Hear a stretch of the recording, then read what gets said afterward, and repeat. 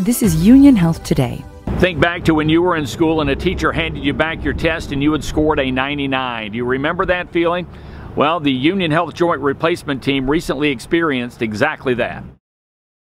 Just over two decades ago, Union Health created a full fledged joint replacement program that has now grown into one of the Midwest leading destinations for knee, hip, and shoulder replacement. Just over three years ago, Union Health started tracking data regarding patient satisfaction for joint replacement procedures performed at Union Hospital and the Wabash Valley Surgery Center. The initial results, a satisfaction rating of just over 70%. But now, three years later, that number has hit 99%. Leah Salvador is the director of the orthopedic service line at Union Health. In the course of three years, we were able to move it to the 99 percentile, and to move that is, is, is a humongous effort.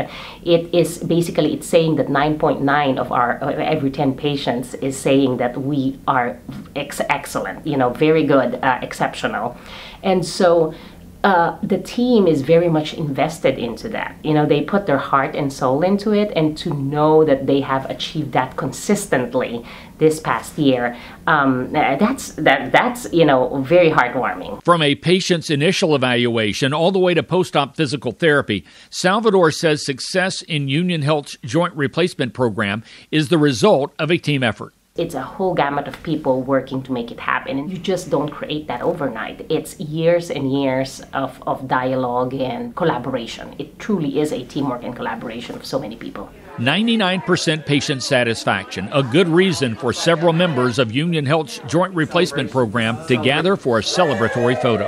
A small city healthcare system delivering big results. I'm Mike King. More next week on Union Health Today.